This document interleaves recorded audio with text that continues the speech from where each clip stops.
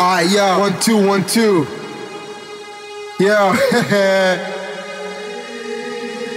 this is what I love and can't stop loving. Get wasted at parties from 9 till 7 in the morning.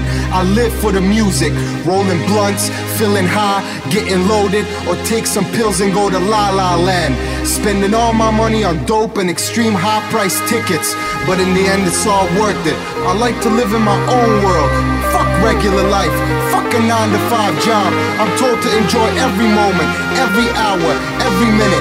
That's what I do on Fridays and Saturdays. Why should I take life so seriously? I just wanna do what I like to do, being far from reality, cause I can't stand society. It's my own world, I just wanna hear the music.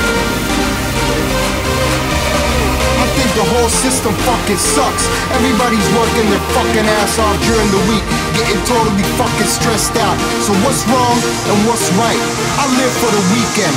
I live for hard styles. I live for hard style, baby. Come on, let's go.